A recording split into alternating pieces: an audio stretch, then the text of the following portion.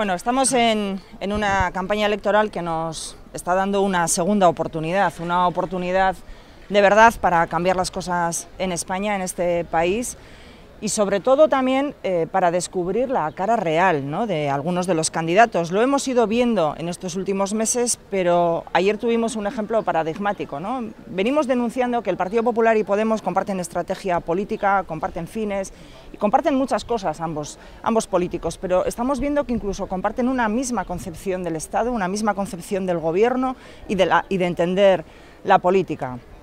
Ayer hemos tenido conocimiento de algo gravísimo, que yo la verdad es que no entiendo cómo el ministro del Interior no ha presentado su dimisión o el propio presidente del Gobierno le ha cesado fulminantemente en sus labores, porque es intolerable que un ministro del Interior, un Gobierno, utilice los medios estatales para tratar de agredir al contrincante político, utilizarlo en la, en la, contienda política. Y al mismo tiempo nos encontramos con un partido como es Podemos, liderado por Pablo Iglesias, por Monedero, que afirman que en cuanto lleguen al gobierno van a ordenar a los jueces y fiscales a quién tienen que investigar, a quién tienen que detener y al mismo tiempo también vimos en estos últimos seis meses, que también es bueno echar la vista atrás para verlo, que cuando tuvieron oportunidad de negociar un gobierno, de formar parte de un gobierno de cambio, lo único que les interesó fue controlar los espías, controlar los medios públicos de comunicación y controlar el ejército.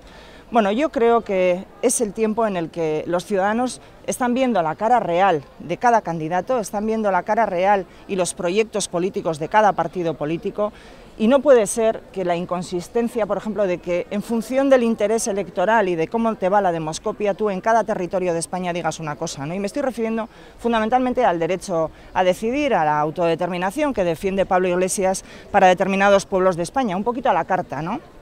Que en Euskadi, Cataluña y Galicia les interesa defender ese derecho, lo defienden. Ayer estuvo Pablo Iglesias en Vitoria y estuvo defendiendo aguerridamente el derecho de autodeterminación. Sin embargo, eh, en la cadena SER, dirigiéndose al conjunto de la ciudadanía española, decía lo contrario, decía que eso no será nunca una línea roja para los de Podemos y que, bueno, podría ir a, a un segundo lugar. Bueno, nosotros somos el único partido que tiene un proyecto claro para España que tiene un proyecto claro en lo político, que tiene un proyecto claro en lo económico, pero sobre todo que también tiene una solución al problema territorial español, que es la reforma de la Constitución.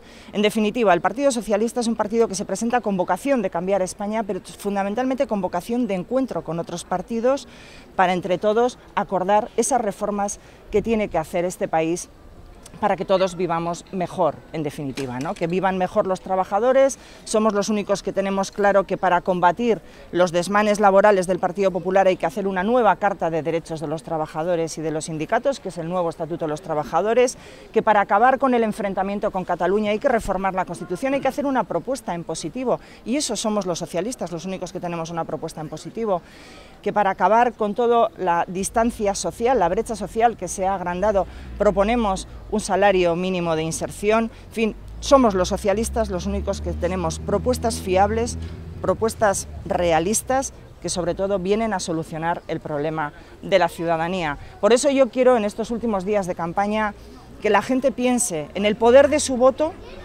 y que cuando deposite ese voto, la responsabilidad que tiene a la hora de elegir la persona adecuada, el partido adecuado para resolver los problemas de este país, que no son fáciles, pero que podemos hacerlo entre todos. Y ese es el Partido Socialista, es el partido, el voto útil que tenemos que hacer que el partido sea fuerte el próximo 26 de junio para poder formar ese gobierno de cambio que necesita este país para construir la España del futuro en los próximos años. Bueno, argi geratu da, kanpaina honetan beste aukera bat dagoela, e, gauzak aldatzeko Espainian, ez? Baina, klaro, e, baita ere ezagutu dugu benetako aurpegia, ez? Lider, liderren benetako aurpegia. Ikusi dugu Rajoy, ikusi dugu Pablo Iglesiasen aurpegi, benetako aurpegia, eta atzo bertan ezagutu genuen albiste oso kezkagarri bat, eta zen nola alderdi popularra behin eta berriz erabiltzen dituen gobernuaren tresnak arerio politikoen aurka jotzeko, ez? Bueno, eta aldi berean ikusten dugu Podemosek gauza bera defendatzen duela, ez? Eukizuen aukera pasadan abenduaren ostean osatzeko aldaketako aldaketarako gobernu bat eta zer eskatu zuen? Ba, eskatu zuen ejertzitoa, eskatu zuen telebista publikoa eta eskatu zuen espiai, ez? Duan, biak daukate ideia berbera politikari buruz eta hori da justu ez duguna behar Espainian momentu honetan. Behar duguna da aldaketaren gobernu bat osatzea gauzak konpontzeko, ez? Eta fidagarriak izateko eta nik uste dut alderdi sozialista dela aukera bakarra aldaketa hori egiteko mm. eta aldaketa fidagarria izateko eta benetan helburuak lortzeko, ez? Azken finean hiritarrek ja apurtzu bet e, ba, bueno, kezkatuta eta nazkatuta daude eta behar dute benetako irtenbideak mai gainean ipintzea eta bueno, gukara aukera hori ematen dugun bakarrak. Horrezagaitik eskatzen dut berriro bosketa egitea alderdi sozialistaren alde eta azken egun hoieta honetan pentsatzea oso ondo ze alderdi politikoaren alde boskatzea nik eskatzen dut alderdi sozialistaren aldeko botoa.